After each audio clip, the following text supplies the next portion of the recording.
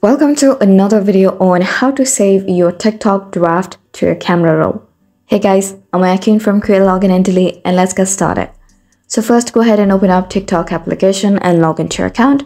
Once you're logged in, tap on your profile. Now from your profile page, select drafts right here.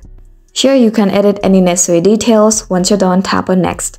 Now in this page, Click on everyone can view this post right here under tag people and now set it to only you. So simply select only you. So with this, your video will completely be private. Another thing that you need to check is whether automatic save to your device is on or not. So for that, tap on more options and toggle the switch next to save to device if it's not yet.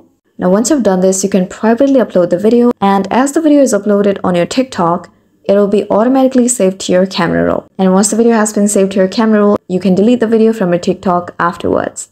So that's basically how you can save TikTok drafts to your camera roll.